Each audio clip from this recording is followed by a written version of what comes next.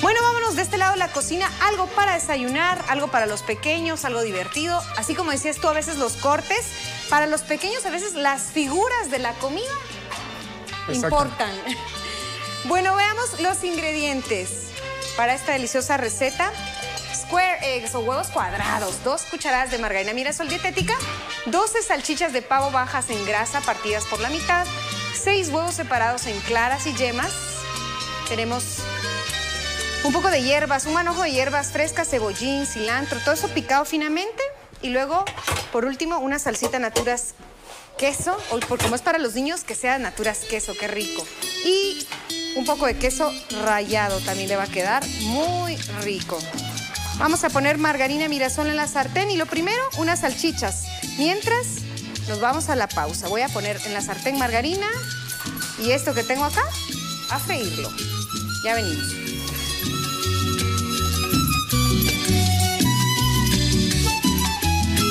Muy bien, en el, segmento anterior hemos puesto las salchichitas. Utilizamos unas de pavo, que son bajas en grasa. Les voy dando la vuelta. Las pusimos en un poquito de margarina mirasol a dorar. Y este es un plato también dedicado a nuestros pequeños. Y lo que vamos a hacer es dividir los huevos en claras y yemas. Vamos a ir agregando las claras por encima. Si se esparraban no importa porque luego con una espátula las vamos a ir incorporando. Vamos a dejar que se vaya cocinando la primera parte de la receta. Vamos a agregar sal, pimienta. Yo creo que a veces las mamás somos las que queremos eh, a los chicos hacerles cosas diferentes en la cocina para que siempre coman. Yo no sé si en casa tienen problemas con los pequeños, comen bien. ¿Tu hija come bien, chef? Sí, más o menos. Le cuesta a veces un poquito pero por eso hay que ingeniársela para hacer platillos diferentes, entonces les llama más la atención. Sí, hay etapas, yo creo que hay etapas, y yo incluso había eh, he, leído libros de cómo hacer para que los pequeños coman. ¿Ah, nunca jamás en la vida forzarlos. Nunca, eh, nunca, eh, realmente la teoría del libro decía que los niños van necesitando lo que su cuerpo o su organismo les pide. Obviamente hay etapas que quieren comer muchos azúcares y eso pues tampoco lo vamos a, a permitir tanto, pero sí generalmente ellos es lo mismo, ¿verdad? Cuando tienen frío, tienen calor y la mamá, ponte el suéter, quítate el suéter. A veces somos nosotras las que queremos imponer. Hay que dejarlos que vayan descubriendo nuevos sabores. Sí recomendaba el libro que participen en la cocina, fíjate, que cocinen. Ah, eso va a estar bueno entonces. Sí, porque es bueno que ellos también. ¿A partir de qué edad sugieres tú que eh, se involucren en la cocina? Voy agregando hierbitas. Muy bien. Vamos agregando las yemas que las dejamos aparte para que se vayan cocinando lentamente también, chef. Y voy a poner un poquito de sal. Este es para los pequeños. Y entonces, ¿a partir de qué edad pueden empezar ellos a cocinar de forma segura? Yo he tenido chicos en curso de junior, le llamamos nosotros, junior chef.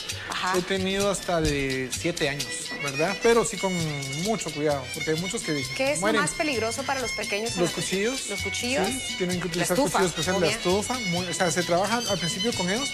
Eh, preparaciones no tan calientes, ¿verdad? Eh, que hagan sus hamburguesitas, que hagan una pizzita también y uno se vaya al horno y que ellos disfruten de sus, de sus uh, preparaciones, ¿verdad? A mí me encanta ponerlos, por ejemplo, hacemos galletas entonces la parte de, mezclar todo, incluso buena psicomotricidad fina, eh, para que los niños también luego puedan hacer chirulos de papel, esa, ese movimiento de los dedos cocinando, como la pizza que hiciste, ¿no? Que tenían que mover esa masa. Eso es muy positivo para también su desarrollo. También recomendarles que los dejen oler, saborear, todos los, cinco sentidos involucrados en la cocina. bueno, eh, vieron que hicimos separado claras y yemas y tenemos un tip para separar las claras y las yemas pueden ustedes sacarlas y colocarlas en un tazón, los huevos enteros, y luego con la botella plástica, chef, no sé si has probado el, tip, con la botella plástica se van succionando las yemas y con mucho cuidado se pueden reservar en otro recipiente aparte.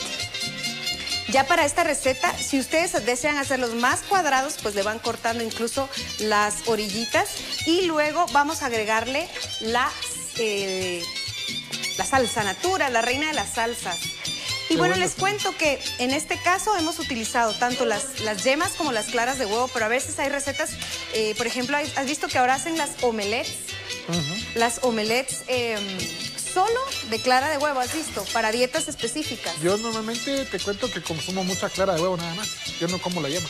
Ah, sí, tú nos comentaste. Incluso compras la... Sí, sí. O, sea, vamos separando. Me encanta, esta me encantó para, para no solo para mis niños, sino para mí también. Se la vamos a tomar.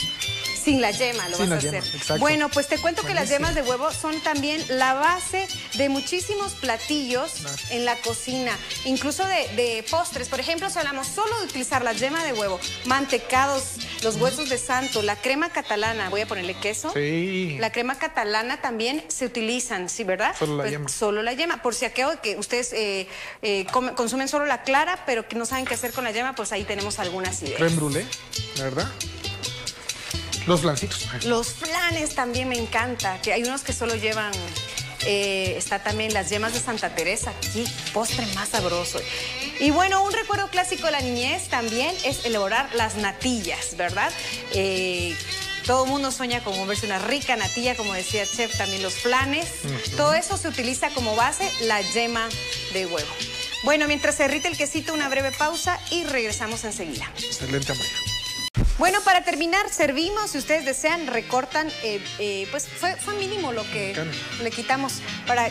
Hay un programa de televisión, chef, que cuando los niños están aprendiendo cuadrado, todo lo hacen cuadrado ese día. Así que podrían hacerles el desayuno cuadrado para que los niños repasen también las figuras, decirlo en inglés, en español, ahora que los niños aprenden hasta mandarín, en todos los idiomas que aprenden ahora. Increíble. Pero bueno, siempre como decíamos, si lo involucran en la cocina, por favor, con mucho cuidado. Repasamos la receta.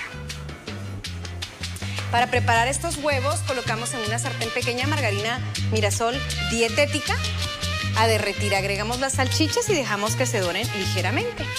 Por encima agregamos únicamente las claras de huevo. Dejamos cocinar por ambos lados Aparte, con cuidado de no romper, ponemos las yemas a cocinar también en una sartén con margarina. Opcional, si están haciendo la dieta de Chef Luis, pues ya no se le ponen las yemas, ¿verdad, Chef? Sí, sí. Al estar listas, las ponemos sobre las claras, decoramos con las hierbas frescas, servimos con la salsa de tomate caliente y el queso.